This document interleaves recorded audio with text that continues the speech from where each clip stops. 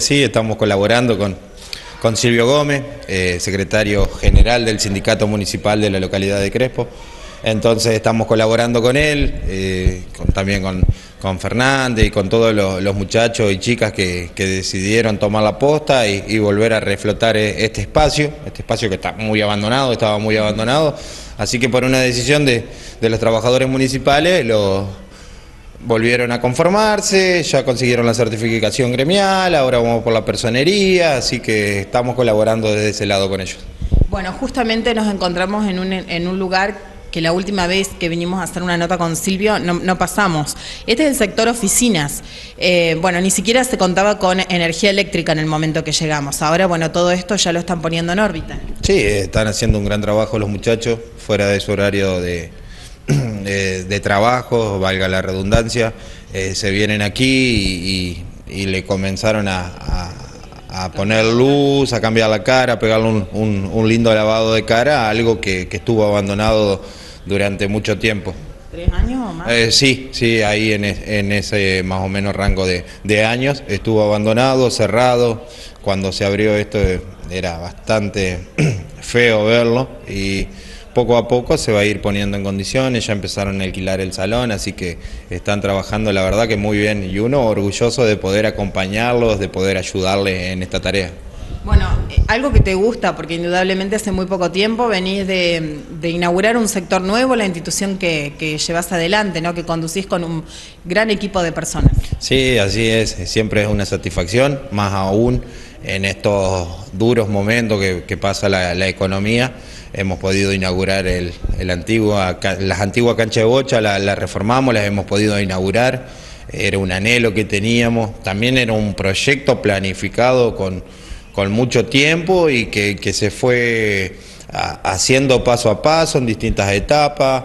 Eh, ahora nos falta la etapa de todo lo que es la, pintura, pero bueno, eh, ya creíamos que para celebrar un año más de nuestra institución, eh, poder abrir las puertas a ese salón era, era un gran avance y eso es lo que hicimos. Estuvieron las chicas, las nenitas de Zumba, que ahora también van a participar en un torneo muy importante en San Luis, próximo a darse. Estuvieron mostrándonos lo que iban a realizar en, la ciudad de Paraná, así que súper contentos. Tuvimos la visita de, nuestro intendente, de los funcionarios municipales. Eso fue el primero de mayo y el, el 7 de mayo, por agenda, se había comprometido María Laura Estrata junto a José Gómez a visitarnos, así que estaban, tenían una agenda en la localidad de Crespo y aprovecharon la ocasión para también ir a conocer el salón, del cual tanto la municipalidad como el gobierno provincial colaboraron con nosotros con subsidio para que lo podamos llevar adelante.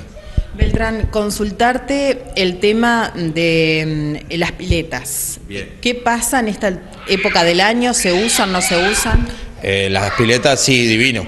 Está la verdad que muy bien. La semana pasada tuvimos un inconveniente con una bomba, lo cual nos, tuvo, nos forzó a cerrar dos días.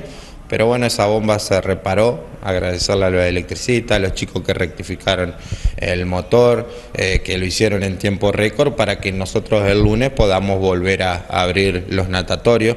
Lo que sí la decisión que hemos tomado es eh, que permanezca abierta de lunes a viernes, sábado y domingo por ahora no está permaneciendo abierta, pero bueno, es muchísima la gente que concurre a realizar distintas actividades y para nosotros es también una satisfacción hoy, con lo que se fueron las tarifas y demás, poder continuar con, los natatorios de, ADIC eh, con sus puertas abiertas.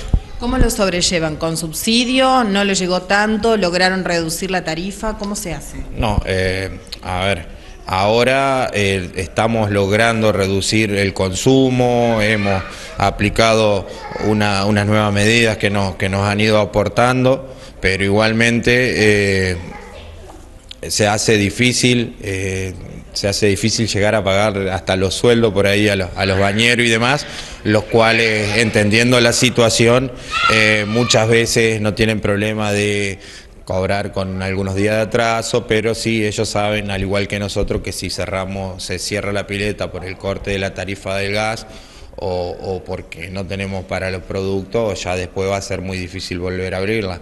Tenemos, eh, sí, atrasadas algunas facturas de gas, algunas boletas de gas, pero bueno, con el tiempo lo vamos a ir eh, cubriendo. Siempre decimos que si uno muestra voluntad de pago, siempre tiene un margen más de acción, entonces nosotros en la medida que podemos vamos cancelando las boletas, vamos haciendo pagos a cuenta para que eh, eh, esa demostración de la voluntad de pago esté y, bueno, hemos ido a Gasnea, hemos ahora cuando nos visitó Gómez, se comprometió esta semana a recibirnos para también tratar de, a través del Ministerio de Desarrollo Social, dígase María Laura Estrata, ayudarnos también de alguna forma con, con un subsidio. Así que bueno, buscándole las variantes, las maneras, recorriendo mucho para, para encontrarle solución a cosas que van apareciendo día a día. Por ahí nosotros no pensábamos que la bomba se nos iba a romper, se rompió y bueno, tenemos que encontrar soluciones a problemas que no, no tenemos previsto.